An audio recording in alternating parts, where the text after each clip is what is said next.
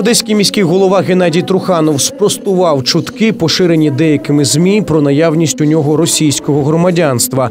Він назвав публікації та поширення такої інформації провокацією. Міський голова попросив не вірити брехні та чуткам, а також додав, що неодноразово відповідав на питання щодо наявності у нього російського громадянства і заявив, що готовий це зробити знову.